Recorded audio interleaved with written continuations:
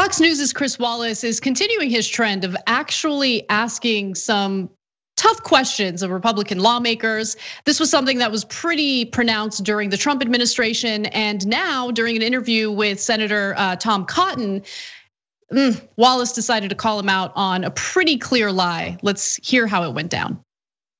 Here is one of your other complaints about the, the COVID relief bill. Take a look, sir.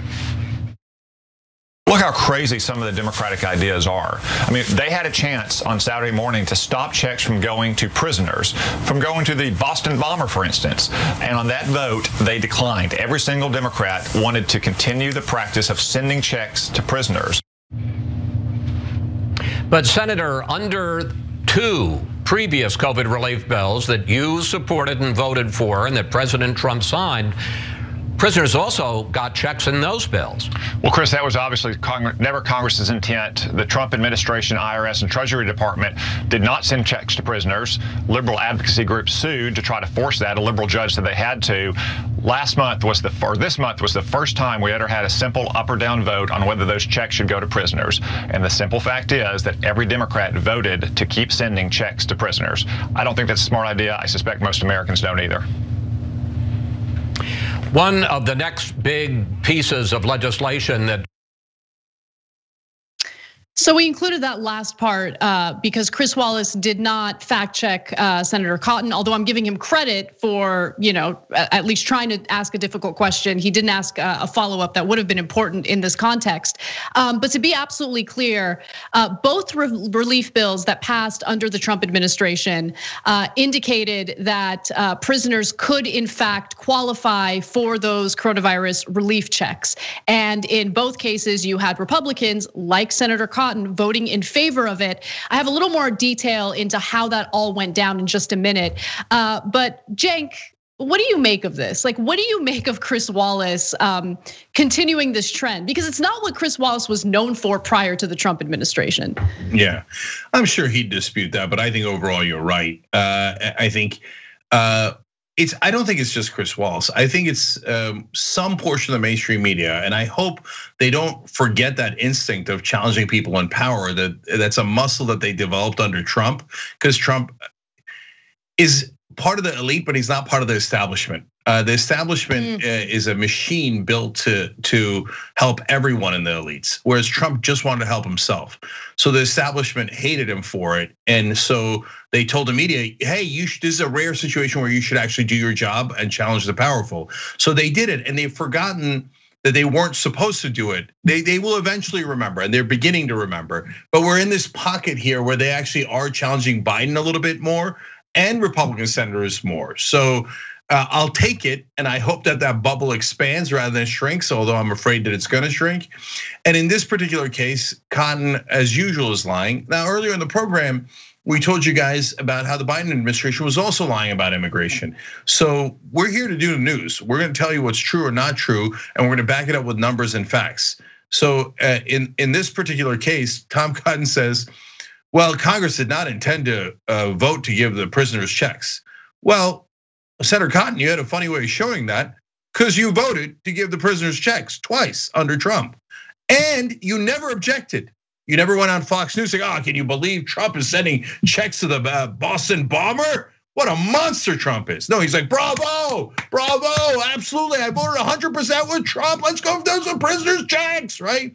Then Biden gets in office. You're like, oh, I am shocked and chagrined to find out that prisoners are getting checks, just like I voted for. Okay, so please spare us your totally 100% phony outrage. And this is not an issue where there's nuance. Tom Cotton is a systematic liar.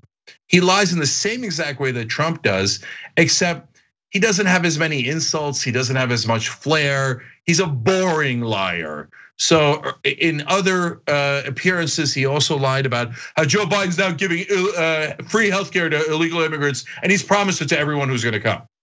Just an outrageous lie. Not that not remotely true, right? So that's who Tom Cotton is.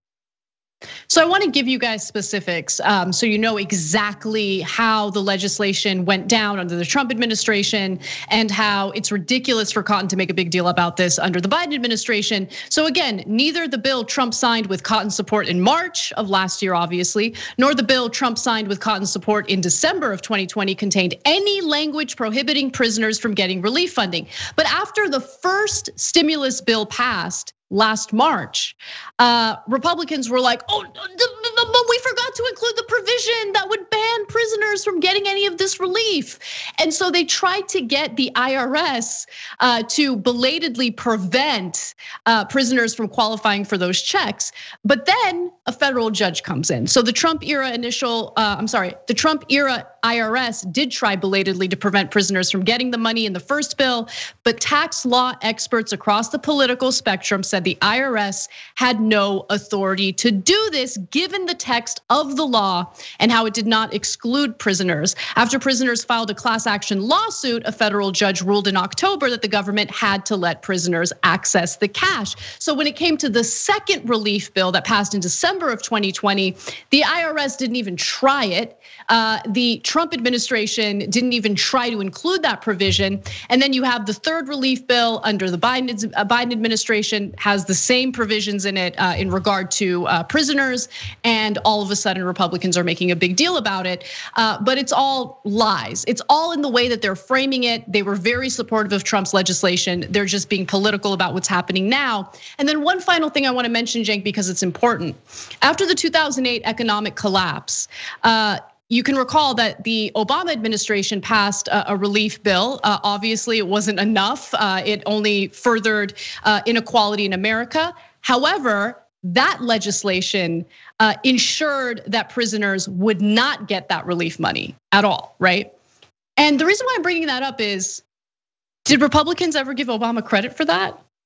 I'm not saying I'm not saying that I would give credit to Obama for that. I'm just saying that Democrats pandering to disingenuous right wingers never works out well. So don't do it. Don't do yeah. it. Don't ever do it. Don't do it in immigration policy. Don't do it in relief policy. These people are not your friends. They're never going to give you credit. In fact, even if you give them exactly what they want, they'll turn around and literally lie about it on national television. Yeah, I, I want to add one more thing too. Uh, conservatives argue in court all the time as their legal principle, plain reading. Plain reading of the statute. Oh, we don't want activist judges. The Congress wrote it and they intended what they wrote. That's it, right? That is a bedrock of conservative uh, judicial theory. Uh, now they're going, yeah, I mean, we wrote it and we all voted on it, but some of us kind of didn't mean it. Uh, and now we'd like to blame Biden and even earlier, like, well, our bad. Basically, that's going into court and saying, sorry, we're incompetent and lazy so we didn't really do our job right. And some of us would like to change our opinion after we voted yes on the bill. And the courts basically told them, mm, that's not how it works. You guys read the bill, then you vote on the bill, and then the bill's the law. You don't get to say some of us didn't mean it later. Okay. And is there a right way to object to a, a provision in a bill or to the whole bill while still voting for it? Yes. And the person who did the best job of that, in my opinion, is Bernie Sanders in the 94 crime bill, where he said, look, I'm I have to vote for this bill because it's got the Violence Against Women Act and it, and I and I want that so much, and it's so important that I'm gonna vote yes. But I'm gonna give a stem winder of a speech here where I explain to you how awful the rest of this bill is. And that we should not do any of the other garbage parts of this bill, right? And so that's where you go, okay, well, that guy was clear on what he wanted to vote yes on and what he didn't, right? Tom Cotton going on TV after Biden gets into office going, oh, well, yeah, remember, we were lazy and stupid before, and we didn't read the bill, and that's why I voted for it. But you know, now I want to blame Biden for the thing I voted on. So can I get credit for that? And so we're now left in a, in a, dis, in a media so in disrepair in this country that we're giving Chris Wallace credit for saying, no, you don't get credit for that, which is super exactly. obvious. Thanks for watching The Young Turks. Really appreciate it. Another way to show support is through YouTube memberships. You'll get to interact with us more. There's live chat emojis, badges. You've got emojis of me, Ana, John, JR. So those are super fun. But you also get playback of our exclusive member only shows and specials right after they air. So all of that, all you gotta do is click that join button right underneath the video. Thank you.